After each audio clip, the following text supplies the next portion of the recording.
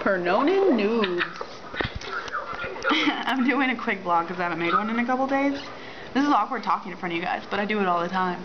Um, because I decided that I can't do a vlog every day in November just because I have a roommate and she's there a lot and I'm there. So um, I'm making one right now, but I'm in the living room um, on Tinychat. Brandon left just now. And, but I will be making different videos.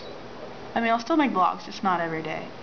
And, um, I mean, no one cares really, but it's just something I do. I'm tired, so I'm going to stop, and I don't want to edit it. Oh yeah, Pernonin Noobs. Hashtag Pernonin Noobs. That's what this video is going to be called. Uh, I should vlog tomorrow because I'm going to a midnight premiere. But uh, we'll see about that. Alright.